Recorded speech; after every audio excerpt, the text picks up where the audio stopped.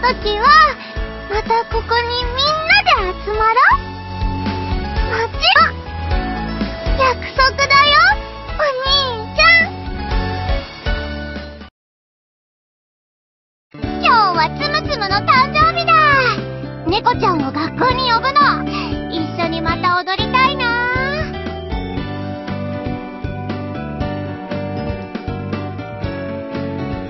今日はつむぎさんの誕生日ですね。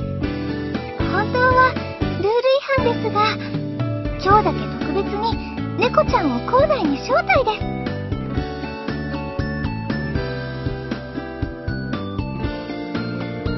今日はつむつむの誕生日だね。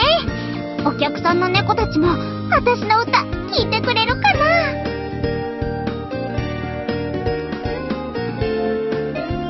今日はつむぎの誕生日だ。年下の子にあげるもんキャプテン、なんかいい案ある？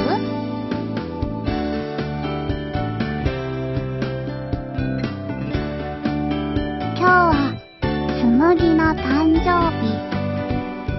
誕生日プレゼント、猫の図鑑と猫の絵本。どっちが喜ぶか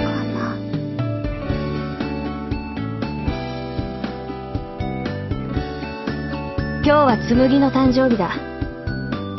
ところで紬は今年でいくつになったんだ？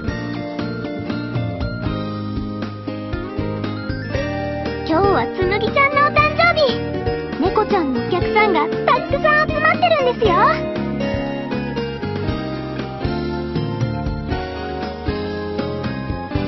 今日はつむぎの誕生日。猫グッズも買ってきたしお祝いの準備はオールオッケー。今日はつむぎちゃんの誕生日です。猫ちゃんクッキー一緒に作りましょう。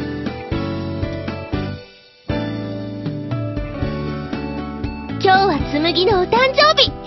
私の威信をかけて盛大にお祝いしてみせますわ。今日は紬のバースデー紬は可愛いから可愛いものをあげたいな。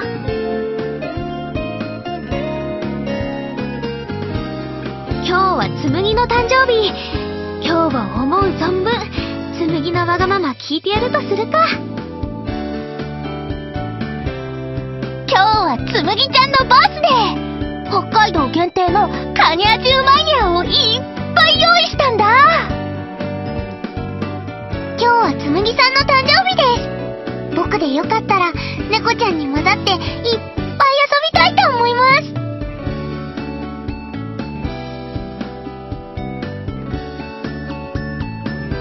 今日はつむぎさんの誕生日。猫さんたちにも喜んでもらえるプレゼントって何でしょう？今日はつむぎさんの誕生日ですゲストの猫ちゃんたちに引っかかれちゃうかも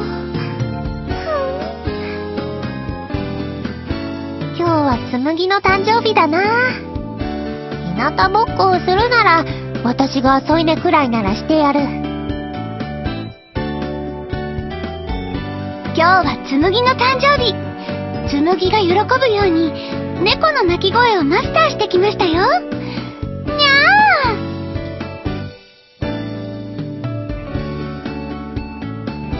今日はつむぎお姉ちゃんのお誕生日。にゃー。猫男子一緒に踊るの。